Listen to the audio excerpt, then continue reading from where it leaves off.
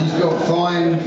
Oh, sorry, I just came in that moment. Didn't know why there's something lurking in the dark. Um, all right, we're going to play a couple of numbers off the new album. Something called Fight Night.